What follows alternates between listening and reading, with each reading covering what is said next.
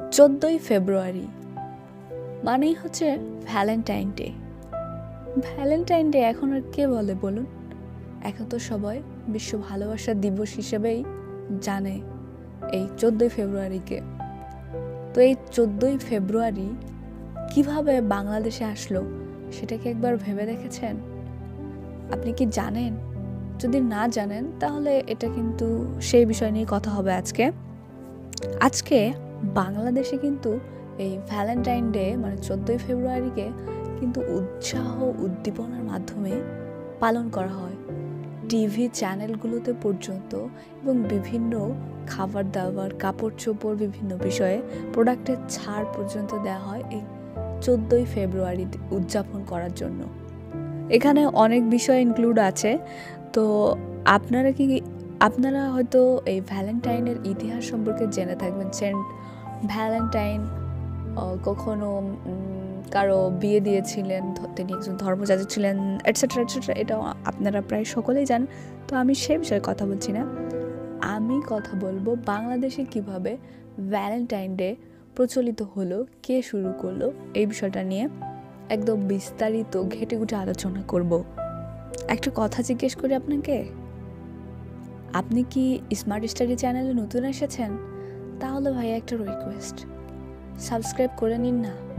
এই ভালোবাসা দিবসে একটু ভালোবাসা না দেখাই দিলেন।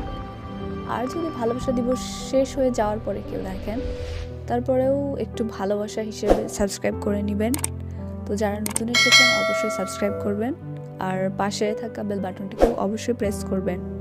অনেক বাজে বকবক করলাম। এখন তাহলে কাজের কাজে আসি। আমাদের আজকের আলোচনার বিষয়টি হচ্ছে আমাদের দেশে ভ্যালেন্টাইন্স ডে কীভাবে আসলো? আর এটা শুরুই বা কে করল? আর কখন থেকেই বা এটা শুরু হয়েছে? বাংলাদেশে ভ্যালেন্টাইন ডের প্রথা শুরু হয় কিন্তু নব্বইয়ের দশকে। এই ভ্যালেন্টাইন ডে প্রথম চালু করেছেন সাংবাদিক শফিক রহমান। তিনি প্রথম এই ভ্যালেন্টাইন ডে উদযাপন করেছিলেন। তিনি উনিশশো ছিয়াশি সাল থেকে উনিশশো বিরানব্বই সাল পর্যন্ত লন্ডনে ছিলেন। এই লন্ডনে থাকার কারণে তিনি সেখানকার পাশ্চাত্য প্রথাগুলো, তার মধ্যে বেশ ভালোভাবে পরিচয় ছিল তার সাথে। সেখান থেকে তিনি ভ্যালেন্টাইন্স ডে উদযাপন দেখেছিলেন এবং উনিশশো তিরানব্বই সালে তিনি দেশে ফিরে আসেন। তারপরে এই দিবসটি তিনি পালন করেন। লন্ডনে কিন্তু এই দিবসটি সেন্ট ভ্যালেন্টাইন ডে নামে প্রচলিত আছে। কিন্তু আমাদের দেশে আনা হলে ধর্মীয় কারণে সেন্টকে বাদ দেয়া হয়, শুধু ভ্যালেন্টাইন ডে রাখা হয়। ভালোবাসা দিবস হিসেবে এর প্রচার শুরু হয় কিন্তু যাই যাই দিন পত্রিকার মাধ্যমে। ভালোবাসা দিবস হিসেবে এর প্রচার শুরু হয় কিন্তু যাই যাই দিন পত্রিকার মাধ্যমে। এমনকি সে সময় যাই যাই দিন পত্রিকার সম্পাদক ছিলেন শফিক রহমান। তিনি তেজগাঁয়ের পত্রিকা অফিসের সামনের রাস্তাটির নামকরণ করেছিলেন লাভ লেন হিসেবে। বিদেশের যে প্রথা, কে সকলে যে সানন্দে গ্রহণ করেছিল তাও কিন্তু নয়।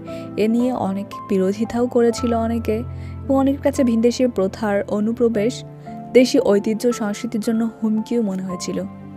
তবে তরুণ তরুণীদের মাঝে এটি জনপ্রিয় হয়ে ওঠে এবং এখন এটি আমাদের দেশে বৃহৎ পরিসরে উদযাপন করা হয় নানা ধরনের আয়োজনের মধ্য দিয়ে। ভালোবাসা দিবস মানেই যে শুধু একজন ছেলে আর একজন মেয়ে, একজন গিয়ে চিপায় চাপায় গাছের তলায় এমন নোংরামো কাজ করে, সেগুলো কিন্তু আপনারা করবেন না। আমি আশা করব আপনারা কখনো এই ধরনের নোংরামো কাজ যুক্ত হবেন না। তো ভ্যালেন্টাইন ডে শুধু যে কোনো তার ভালোবাসার মানুষের সঙ্গে কাটাতে হবে তা না, সে তার পরিবারের মানুষের সঙ্গেও ভ্যালেন্টাইন ডে বিশ্ব ভালোবাসা দিবসকে শেয়ার করতে পারে। তার বাবা মা ভাই বোন এবং বন্ধু বান্ধবদের সাথেও কিন্তু বিশ্ব ভালোবাসা দিবস পালন করতে পারে। কিন্তু বর্তমানে একটা ট্র্যাডিশন হয়ে গেছে, একটা তরুণ আর একটা তরুণী। তারা দু, একে অপরকে ভালোবাসে, তাই জন্য তারা ভ্যালেন্টাইন ডে উৎসব মানায় আর সেই হিসেবে আজকে চোদ্দ ফেব্রুয়ারি আমিও আপনাদের সকলকে জানাই হ্যাপি ভ্যালেন্টাইন ডে প্রিয় দর্শক, বন্ধুরা স্মার্ট স্টাডির পরিবাররা একে অপরের সাথে ভালোবাসার বন্ধনে কিন্তু বেঁধে আছি।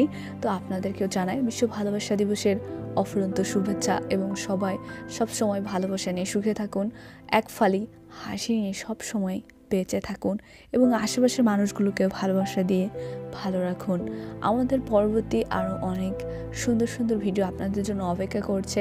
যদিও আজকের টপিকটা একটু আলাদা এটা ইভেন্ট ডিমান্ড তো বেশি কথা না বলে এখানে বিদায় নিচ্ছি। আল্লাহ হাফেজ, দেখা হবে নতুন কোনো ভিডিওতে